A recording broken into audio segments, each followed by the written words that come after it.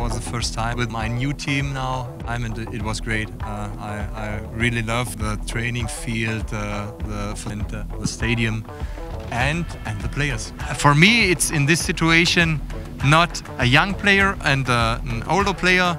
It, I only see the, the football player.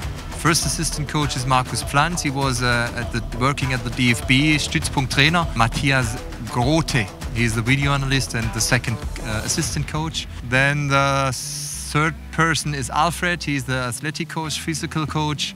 Um, to bring them in, in shape, I said to the, the guys, he will bring you uh, to, to crying.